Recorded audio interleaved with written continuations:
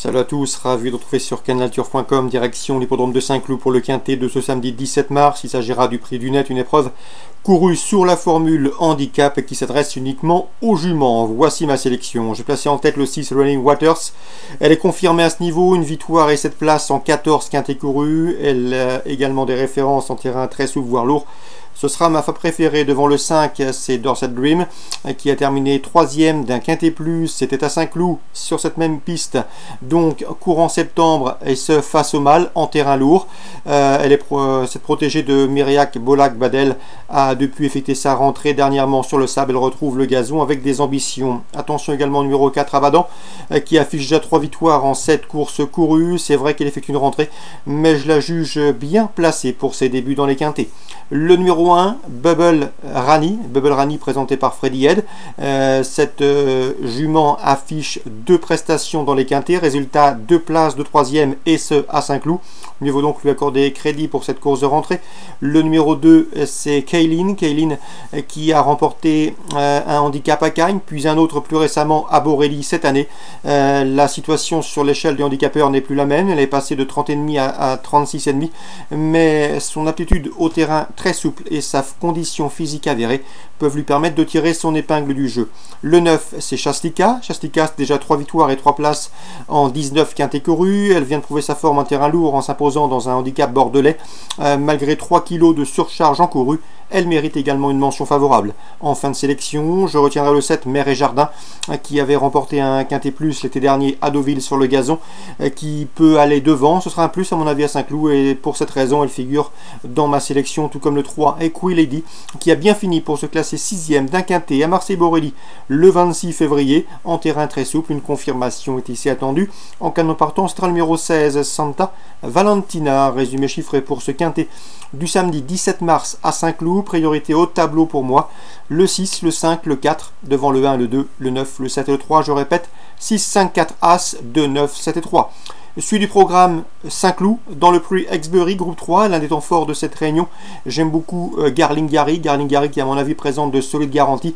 Il a terminé cinquième de cette course en 2015, mais il l'a remporté il y a deux ans en 2016. Sa forme est sûre puisqu'il vient de s'imposer dans le Grand Prix des départements 06 récemment pour sa rentrée à Cagnes-sur-Mer sur le gazon. Euh, le terrain très souple ne lui pose aucun problème. Il avait pris également la troisième place du prix Gannet par le passé. C'est un prétendant sérieux au succès. Le 201, Garlingari. On lui associera le 204, Air Pilote, un Britannique dur à l'effort qui a des références également puisque ce 9 ans avait couru le prix Gannet en 2016 comme notre préféré Garlingari. On s'en méfiera. Il a également gagné la coupe à Chantilly. Le 201, Garlingari. Le 204, Air Pilote. Concernant Lisieux Réunion 3, j'ai pu m'entretenir avec euh, Cyril Rimbaud, l'homme de confiance de Séverine Raymond. Il est confiant avec le 211 Clyborough, un cheval qui affiche déjà 11 victoires en 20 courses courues. Lors, de ses 9 dernières sorties corde à droite, le cheval a toujours gagné. Un cheval facile, pratique, il sera pieds nus. Il est en retard de gain au dire de Cyril Rimbaud, dès lors c'est un, postulant au succès. Le 211 Clyborough. On lui associera dans cette épreuve le 14 Canular, le 15 Cyrus Dulbeck ou encore le 10 Koljack qui part en tête. Ces trois-là ont l'avantage d'être en forme. Donc le 211 en jeu simple et pour les couplets, on lui associe le 14, le 15 et le 10. Euh, j'ai pu m'entretenir également avec Benoît Carpentier, il est confiant à 314 Cop de l'INAM. Son cheval collectionne les bons résultats, il reste d'ailleurs sur 4 podiums, il est aussi performant corde à gauche que corde à droite. Dans ces conditions, il devrait profiter de ce bel engagement. C'est un 6 ans qui affronte ses aînés.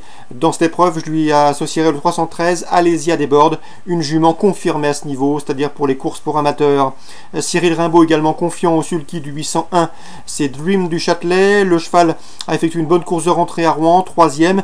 C'est un cheval qui est efficace à gauche comme à droite. Il monte en puissance, il a progressé sur la course de rentrée et j'ai senti un driver confiant, d'autant que le numéro 1 derrière l'autostart ne sera nullement un problème pour ce 801 Dream du Châtelet. Et enfin, dans la 9e, le temps fort de cette réunion à Lisieux, j'aime beaucoup le 113 Chicago Blues. C'est un cheval de qualité. Il avait fait l'arrivée du critérium des 5 ans l'an dernier avant d'être disqualifié. Après enquête, ce cheval euh, sera déféré des quatre pieds ici, contrairement à sa récente course de rentrée à Vincennes. À mon avis, le lot dans ses corps de 913 Chicago Blues. Il lui faudra toutefois rendre la distance au 904 Comte du Vivier. Un cheval préservé, un cheval en gain qui a l'avantage de partir en tête.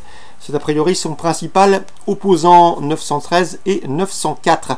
Concernant Toulouse en Réunion 4, euh, je vous recommande surtout le 801 Al Gachamia euh, qui compte déjà 4 places de deuxième en 5 courses courues et notamment une deuxième place obtenue dans un groupe 1 courant septembre sur l'hippodrome de Saint-Cloud, donc le 801 Al Gachamia qui mériterait amplement d'ouvrir son palmarès. C'est à Toulouse en Réunion 4. Voilà pour les infos de ce samedi 17 mars. Excellent jeu à tous, bonne journée et rendez-vous demain pour une nouvelle émission.